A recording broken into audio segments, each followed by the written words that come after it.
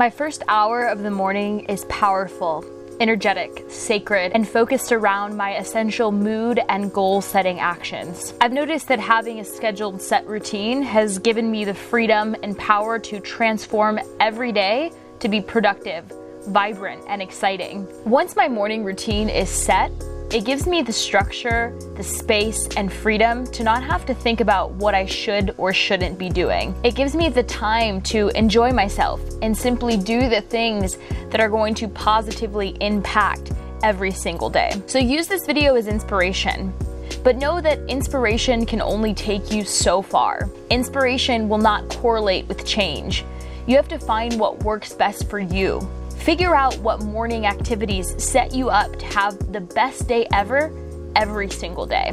Having the system in place will lead you towards completing your goals. This is my simple morning routine. I'm not perfect, and there is nothing miraculous about what I do, but I found the activities that set me up to have an incredible day. The magic in having a morning routine comes in the daily repetition. You'll stop wasting time and energy and learn how to focus in on your goals and what you actually want. So, here we go my 2019 morning routine. Although it is a morning routine, you need to start the day the night before knowing what you want to do throughout the next day in order to keep things organized. I like to lay out the clothes that I'm going to wear to the gym and wear throughout the day based off of the activities that I have planned for the next day. Waking up is always going to be the hardest part.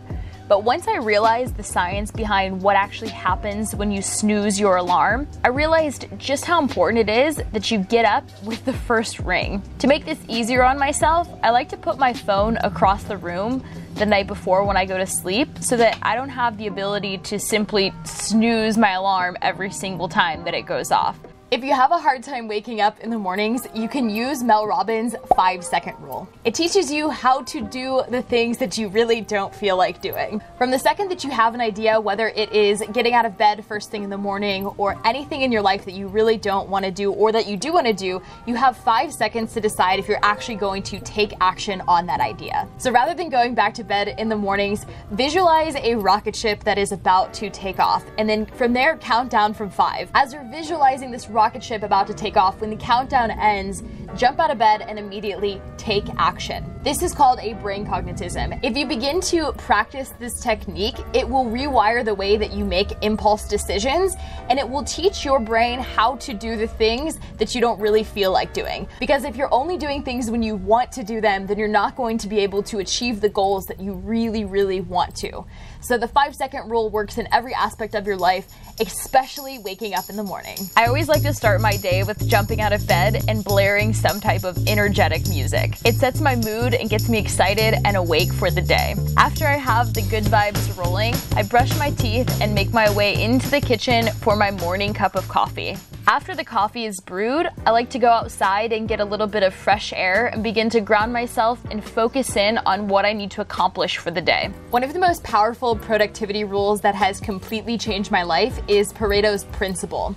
It's the 80 20 law. So basically, 80% of your results come from 20% of your efforts. And this applies to every single aspect of your entire life. So it's important that in the mornings when you wake up, you first write out your goals for the entire day. Write out everything that you need to do, including all of the little errands that you need to run throughout the day. From there, you can decide which goals for the day are most essential and will be most impactful for you to create a happy, successful, powerful day. So it's important that in the morning when you are writing out your goals, that you organize them based off of the importance level because only 20% of your daily and yearly goals are going to have 80% of the outcome and impact on your life. I look back on my monthly and yearly manifestations and goals that I've set out for myself. This reminds me why I started and why I'm doing what I do. After I've enjoyed my coffee and looked over my goals, I like to spend between 15 and 30 minutes every single morning reading.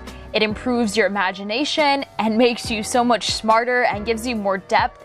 I also find it extremely entertaining and relaxing, and it sets me up to have a really amazing day. This puts me in a more relaxed mood that allows me to ground down before I start my daily yoga and meditation practice. Throughout the week, I switch up my practice between asanas and sometimes I like to run and get a little bit of cardio in. But either way, every single morning before I start my day, I'm getting in at least 20 minutes of physical activity. After my morning practice is complete, I always settle in for at least 10 to 15 minutes of self meditation. I found that using a mala helps me to focus in on my mantra. A mantra is a word or sound repeated to aid concentration and meditate on a specific statement or slogan that is created to help focus in on that energy or on that manifestation. It can be something as simple as I am happy, I am grateful, I am enough. I am aligned with my purpose. Whatever is most fitting to you and whatever you feel that you need to bring into your life during that day. Meditation can be quite a tricky practice because the mind is very chaotic, especially as an entrepreneur. And by nature, the mind tends to wander off during your meditation. So I like to sit, breathe, and focus in on my mantra, counting one bead at a time, repeating my mantra with every single bead. This helps me to receive healing and spiritual energy that aligns me with the energy that I want to bring into my life during that day.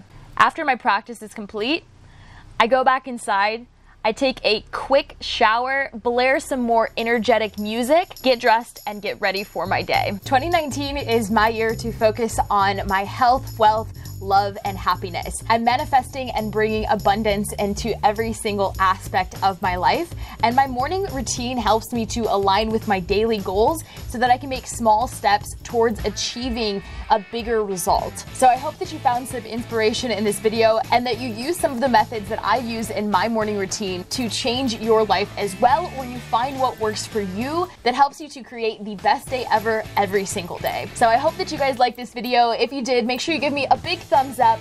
Make sure to hit the subscribe button down in the corner. I'm going to be putting out new videos on health, wealth, love, and happiness every single week. And I hope to see you on another video.